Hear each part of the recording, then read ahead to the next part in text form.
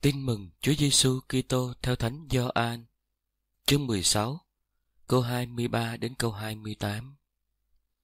Khi ấy, Chúa Giêsu phán cùng các môn đệ rằng: Thật thầy bảo thật các con, điều gì các con sẽ nhân danh thầy mà xin Cha thì người sẽ ban cho các con. Cho đến bây giờ, các con chưa nhân danh thầy mà xin điều gì, hãy xin thì sẽ được để các con được niềm vui trọn vẹn. Tất cả những điều đó, Thầy đã dùng dụ ngôn mà nói với các con. Đã đến giờ Thầy sẽ không còn dùng dụ ngôn mà nói nữa.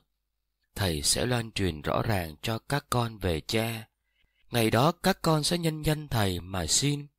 Và Thầy không bảo là chính Thầy sẽ xin cha cho các con đâu.